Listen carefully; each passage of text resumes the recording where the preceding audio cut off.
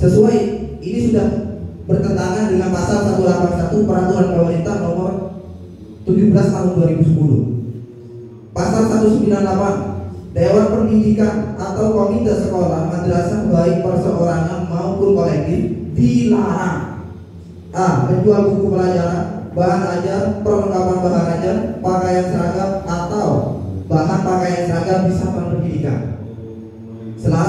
181 dan 198 itu tidak diperbolehkan. Satu. Nah, mungkin nanti bisa diluruskan oleh Pak Kadis kalau bisa pendapat saya ini keliru.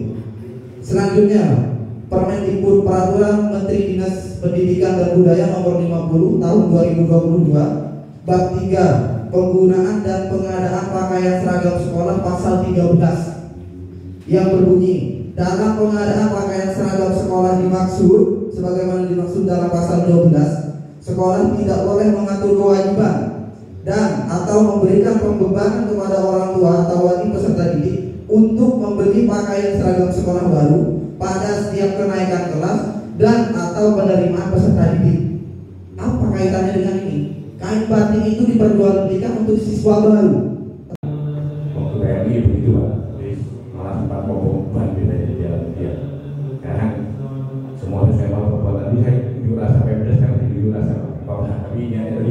urgensi insya Allah nggak apa-apa nantinya saya mampu ke teman-teman yang menjadi pejabat yang harus siap di audiensi begini nggak masalah. Kita sangat terbuka malah ruangan kami di halaman kami itu mas tempat kumpulnya wartawan. Ya PWI dibentuk itu mas yo kadang-kadang di sini ketemunya. Kalau malam ada namanya nggak seperti itu di situ. Itu kumpulnya teman-teman seniman. Ya kalau sore dibuat olahraga. Nggak apa-apa kami eh, karena keberadaan pemerintah itu wajib memberikan begini mas. Mereka dalam nerima ini dari pemerintah. Ya jadi nggak apa-apa. Namanya? Jumat berkah mas. Jumat berkah. Yo siswa yo guru meleboni kota ya itu maksudnya ya untuk ini begini begini saya sampaikan ya ada bahkan ini satu aneh pak. Di SMP 2 itu ada orang tua yang STN-nya ini anu pak Pak Roy STN-nya itu sudah mati. SIM-nya mati kok STN SIM-nya mati. Sementara anak ini diantar. Lah ketika SIM-nya mati mau perpanjangan nggak bisa sudah mati. Kan nggak bisa ngantar. Ditanya kamu kok terlambat karena nggak diantar? Dopo SIM ayah saya mati. Diberi dibantu. Sampai seperti itu artinya ketika ada komunikasi ketika ada komunikasi yang nggak mampu tadi bagaimana? Pasti dibantu pasti dibantu. Makanya lewat panggilan-panggilan semua tadi ya barangkali ada kasus-kasus semacam itu ya eh, ada anak sekolah usia sekolah yang belum bersekolah sampaikan. Yang sudah sekolah ayo butuh dibantu sampaikan. Kemarin Pak Mas saya di SMP 2 lagi dua lagi ada siswa saya jam malam habis sisa itu jualan. Jualan roti mungkin jenengan bisa cek. Di perempatan ini pak perempatan Kunawa ini. Duh, kamu jualan nak? iya pak saya dipaksa ibu saya. Karena kalau nggak jualan untuk makan repot. Apa kayak ini ini terus dipaksa nunggu kalau olahraga kan enggak. Ya bahkan ini harus sarankan solusinya. Iya sampai saya berpikir mbak yang disuruh jual yang uh, kue itu sampai berapa yang yang orang kamu apa kamu disuruh menghabiskan?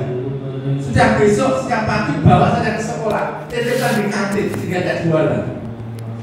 Artinya semangat kami ya uh, bagaimana anak-anak kami siswa-siswa ya anak usia sekolah ini bisa menyambut dengan dengan baik ini ya jadi monggo ya insya Allah. Yang disebutkan tadi masalah kain batik. Insya Allah ada solusi ya Ya,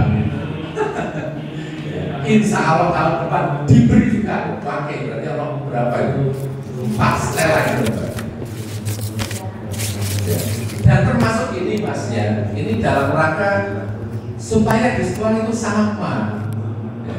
terus ya karena begini kalau dibebaskan ya misalnya nanti kaos kaos tadi ya. Terus sekolah nggak nyiapkan. Terus orang sih kayak kaos ini merek ini, ini itu yang terjadi akan ada. Gap ya ujung-ujungnya nanti orang bullying barang. Sepatu tas pak kemarin ada anak-anak kelas tujuh itu nggak dipakai sepatunya. Ya. orang tuanya tak kumpulkan itu. Ya. jadi pakai ini. Ya jadi saya yakin bisa beli tas yang mahal-mahal tapi ketika nanti jenengan pakai itu yang terjadi ada ya. nah, ini jadi maksud saya saya sampaikan ini semangat kita insya Allah mencari solusi ya. kalau mungkin ada kurang sana sini ya ayo bersama-sama makanya ketika Mas Mahmud ke sini dengan teman-teman saya senang mungkin ada sesuatu yang belum saya lihat di sana bisa kami tahu ya sehingga kami bisa uh, cari bantu solusinya juga ya. saya kira itu sekali lagi tadi saya tergerak karena saya sebagai ketua PGNI jangan sampai nanti ada persoalan pendidikan yang itu juga menyangkut masalah bapak ibu guru ya itu ya jadi masalah ya. sekali semua kita sama